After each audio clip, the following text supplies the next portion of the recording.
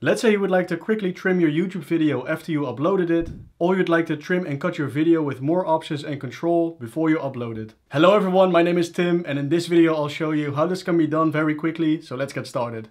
In this video I'll show you how you can trim your videos in the YouTube studio, then how to trim your videos quickly and easily with Veed, and in the end how to export your trimmed video to your device. Okay, so first off head over to youtube.com and go to your YouTube studio. After that, find content in the left menu then search for the video you would like to trim and click on the pen tool. Once you're in the edit section, click on editor on the left hand side. In this section you can trim the video you've uploaded to YouTube. To start trimming, click on trim in the menu and simply drag the playhead in the timeline to the starting point from the footage you would like to take out. Next, click on split in the bottom section of your screen and click and drag the blue vertical line to the point you would like to let it start again in the timeline. And now the darker part will be excluded from the footage. You can repeat the steps and trim like this throughout the entire video. And after that, simply click on save to save the trimmed video in the YouTube studio. Now personally I would like to have more control and clarity while doing my edits, so in this case I'm gonna use Veed in order to trim my video. To get started, simply go to veed.io in your browser.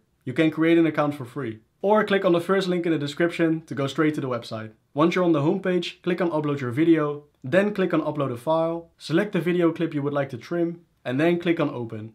After a short moment, your video is imported. Now we're ready to trim the video. In this video, only certain bits where I'm talking are relevant for the video. The rest can be cut out of the footage. So first thing we do is click on the sound wave button on the right to see the audio of the video in the bottom timeline. The audio waves that are relatively bigger or stand out usually indicate the talking parts of the video. This will help us trim the video for the relevant bits.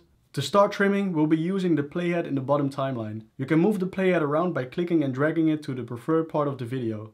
For now I want to remove the non-talking bits, so I'll place the playhead just before I start talking. Now we can use two methods to start trimming the video. You can either click and drag the size of the file in the timeline towards the position the playhead is located, or simply click on split in the timeline menu to split the video in two and delete the irrelevant footage by clicking on the backspace or delete button on your keyboard. After that, drag the entire file to the left so the video starts at that specific point. Okay, to speed up the process, we'll be filtering out every single relevant talking part of the video all at the same time. To make this happen, once again, place the playhead before the point you start talking, click on split, and then place the playhead to the points where you stop talking, and again click on split.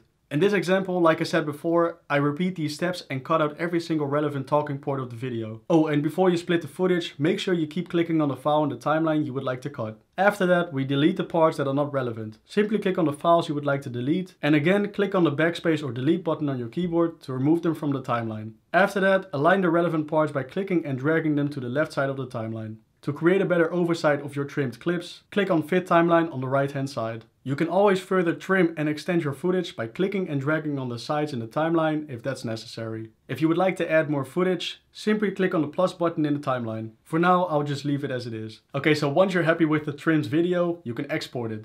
To export the video, find the export button on the right top corner, then click on export video. After the video is rendered, click on the download MP4 button to download the video straight to your device. And that's how you quickly and easily trim your videos. And that's it for this video. Please give it a like if it helped you out and consider subscribing and become a part of the Veed community. If you have a question or a very nice thing to say, feel free to leave a comment in the comment section so we can get back to you. For more helpful tips and tricks, feel free to watch our other content on this channel. For now, have a nice day, good luck and see you later.